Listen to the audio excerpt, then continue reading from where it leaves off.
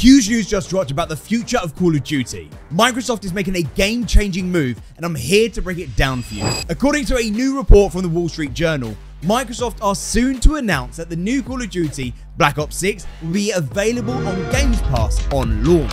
This big reveal is expected to happen during the Xbox Games Showcase later next month. This marks a major shift from Microsoft's video game sales strategy as they move away from traditional sales. Xbox's president Sarah Bond recently suggested that all Microsoft owned games, including the ones acquired such as Activision, will be on Game Pass. This aligns with Xbox boss Phil Spencer's vision for the future of gaming. Typically, a new Call of Duty game sells for $75 and can move up to 25 million copies, generating a serious amount of revenue. I'm talking hundreds of millions in revenue. By releasing the game on Game Pass, Microsoft hoped to boost subscription sales, however, risk cannibalizing traditional sales. Microsoft argues that Game Pass can actually boost sales by increasing exposure for the games. However, some publishers remain skeptical, including the previous Activision CEO. Unlike Microsoft, Sony doesn't launch its new exclusives into the subscription service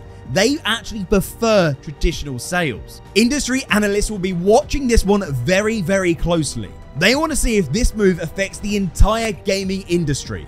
Could this become the new standard for game launches? This year's Call of Duty is targeted at a late October release. There's also rumors that Microsoft might release the entire back catalogue of Call of Duty games onto Game Pass before Black Ops 6's release. These additions could create a huge boost for Game Pass subscriptions, especially as Microsoft face pressure to grow its subscriber base. Are you excited for Call of Duty launching on the Game Pass? Let me know your thoughts about it in the comments down below. Thanks for watching, subscribe, and see you in the next one. Bye bye.